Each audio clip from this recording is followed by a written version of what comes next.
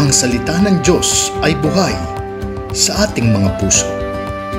Halina't ating pakinggan ang pagbubulay buhay ng ating mga kapatid sa pananampalataya.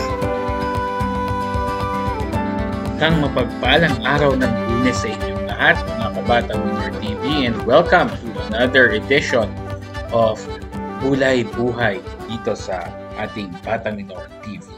Kung ngayon nyo palang napapanood ang video na ito sa page ninyo, i-like nyo na po. At kung ngayon nyo lang din po napapanood ito sa YouTube channel ng Batang Minor TV, please like, share, uh, subscribe, and hit the notification bell. At i-share nyo na din para mas marami tayong nakakapagbulay-buhay sa araw-araw.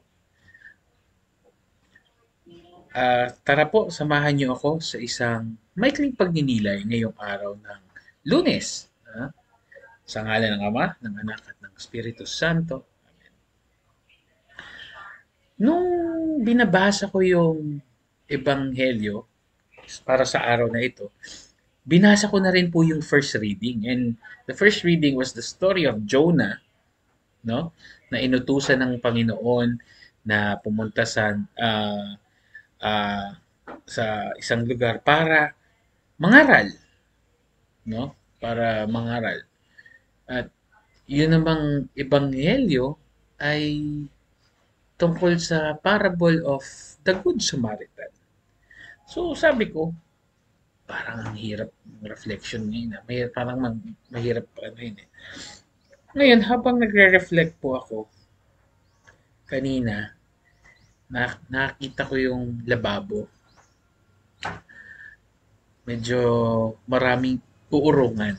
Puhugasan, I mean eh, ang akin pong pag uh, ninilay ay nauwi doon sa hindi naman sa pag-uurong kundi naalala ko siguro sa inyo may mga naka-experience din nito no?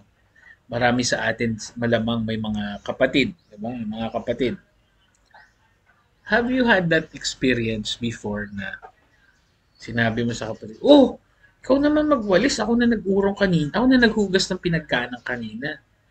O ikaw naman maggawa niyan. Kasi ako na yung nag, nag, nagluto ng tanghalian o ng hapunan.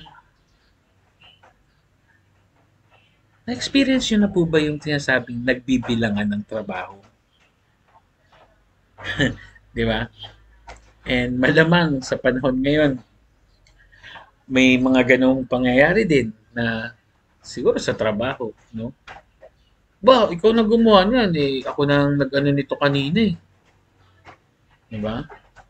Ikaw nang tumapos niyan eh. Sinim ako na nagsimula eh. Ako pa rin ang tatapos. So, there are times in our life o in my life kung saan parang bumibilang, binibilang ko yung trabaho. Ngayon, bakit ko na bakit ko na bahagi sa inyo to? No? Kasi, nung, nagi, nung binabasa ko po ulit yung tapos ko maghugas ng mga pinagkanan, hindi naman ako kumain pero ako yung naghugas. So nagbasa ulit ako. Binasa ko po ulit yung Ebanghelyo at nakakatuwa na apakad sa dami-dami ng characters dun sa Ebanghelyo, eh na-identify ko yung sarili ko sa lahat.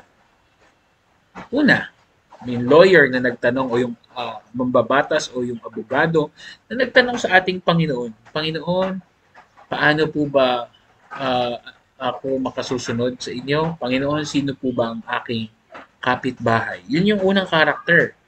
Pangalawang karakter was not not just Jesus but the the the the the the, the kwento itself no? Ng parable ng Good Samaritan mayroong mga masasamang loob yung magnanakaw na inisahan yung uh, isang taong nagta-travel papuntang uh, Jericho from Jerusalem at yung tao na nagta-travel tapos yung uh, pari or the, the priest na Nung makita yung ninakawan, umiwas siya ng daan yung Levite, ano yung Levite? Yung Levite, mga, kap- uh, mga kabatang Nerd TV, these are people na who are uh, part of the tribe of Levi. Na basically, sila yung parang lay minister o sakristan ng mga pari during that time.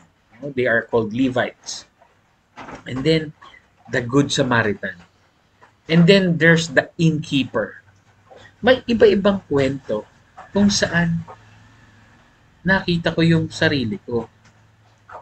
Na na-relate ko doon sa bakit ako na naman ang maghuhugas ng mga pinagkanan ngayong umaga? Eh, kag, hindi man ako kumain yan kaninang umaga.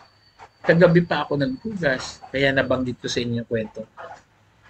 Naranasan niyo na po ba yung pagbibilang ng trabaho sa mga kapatid ninyo, sa mga kasama sa bahay? Bakit ako na naman? Kasi doon po sa parable of the Good Samaritan, ang napakaganda doon ay yung una nagtanong, sino ang babatas? Alam niya yung batas. Pero siya ay nagtanong pa rin sa Panginoon. Tapos, merong uh, taong nangailangan ng tulong. Merong taong umiwas kahit na alam niya yung dapat niyang gawin. Katulad ng abogado na or yung lawyer na nagtanong kay sa ating Panginoon. Merong Levite na alam niya yung dapat niyang gawin pero umiwas siya.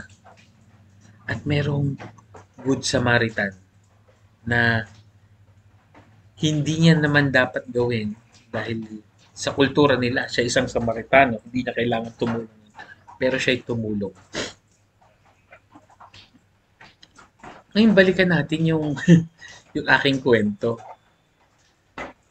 Sa buhay natin, na-realize ko, kung tayo ay mga Kristiyano at sumusunod sa Panginoon, hindi ko kailangang magbilang ng trabaho. Hindi ko kailangan magbilang ng ay dapat kong gawin. Hindi ko dapat mag-isip na ito'y dapat kong gawin kasi ako'y Kristiyano. Hindi sa aking pagdinilay ngayong araw na ito, I realized that I have to do this because at one point in time, I was that uh, Rob. Ako yung taong ninakawan. Ako yung taong ginulpe. Ako yung taong nangangailangan ng tulong. At may mga taong tumulong sa akin. So it's just just isa lamang isang isang isang bagay na nararapat ko lang gawin ay gawin din sa iba yung ginawa sa akin ng ibang tao. Yung kabutihan na pinakita sa akin ng ibang tao, gawin ko rin sa iba. At pangalawa, gawin ko yung mabuti dahil ako'y kristyano. Gawin ko yung mabuti, hindi dahil ginawa sa akin iba, kundi ito yung dapat na nakikita sa akin dahil ako isang Kristiyano. So, katulad ng paghuhugas, hindi ko na dapat bilangin yung paghuhugas, paglilinis ng bahay, pagluluto, pamamalengke, dahil ina-assign sa akin. Hindi. Yun dapat ay ginagawa ko kusang loob dahil sa kagustuhan kong paglingkuran yung aking mga kasama sa bahay. At yan yung napakagandang hamon sa atin ngayong panahon ng pandemya, ngayong panahon na tayo ay nasa bahay, lahat nasa bahay, karamihan. Huwag na nating antayin magturo-turoan kung ano yung dapat nating gawin sa isa't isa. Dapat sa panahon ngayon, mas lalo nating ipakita sa pamamagitan ng paggawa ng mabuti sa ating kapwa yung tayo ay mabuting Kristiyano. Kaya sana po itong aking maikling pagbubulay buhay ay nakatulong din sa inyong pagninilay ngayong araw na ito. Muli, maraming salamat. Ako po si Brother Pete Silverio, Batang Minor, Batch 1990. Hanggang sa muli, sa ngalan ng Espiritu Santo.